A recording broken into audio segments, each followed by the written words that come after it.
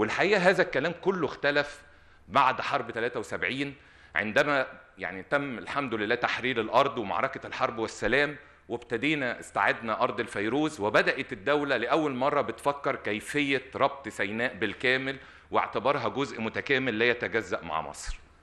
وبالتالي كان يمكن أهم المشروعات اللي الدولة المصرية حاولت على مدار ال 30 سنة اللي فاتت إنها تعملها كانت مرتكزة الحقيقة في مشروعين كبار.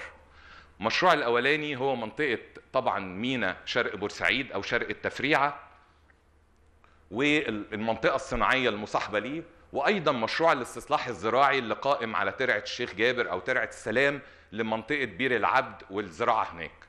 ولكن الحقيقة الدولة بعد ما قامت بيهم بجزء من أعمال التنمية اللي في البداية ولكن الحقيقة لم يستكمل المشروعات دي للعديد من الأسباب والمعوقات وبالتالي يمكن فضل من من التسعينات لغاية 2014 هذه المشروعات مشروعات متعثرة ومتحققش الهدف اللي كان مرجو بيها.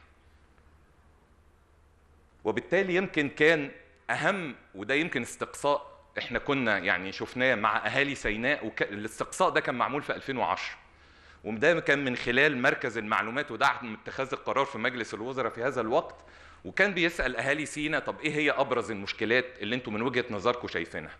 زي ما حضراتكم شايفين 63% كانوا بيقولوا مشكلة المية 50% النقل والارتباط مع مصر 25% التعليم الكهرباء الصحة. يعني كانت القضايا الرئيسية اللي تخص حياة المواطن هي مشكلة بالنسبة للمواطن السيناوي.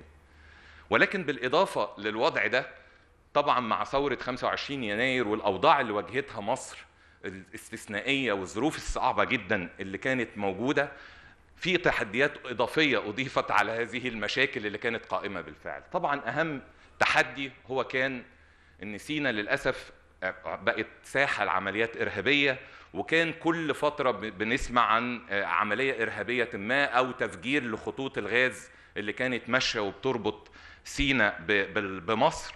ولكن أيضا طبعا كلنا نتذكر الحادثة الأليمة اللي كانت قمة الأعمال الإرهابية في مسجد الروضة في نوفمبر 2017 مع هذه الحوادث الإرهابية كان هناك بعض الحوادث اللي للأسف أثرت بالسلب على السياحة كان سقوط الطائرة الروسية في أكتوبر 2015 يمكن هنا كانت البداية والتحدي الكبير للدولة إن إحنا نواجه هذه التحديات الضخمة اللي بتواجه سينا.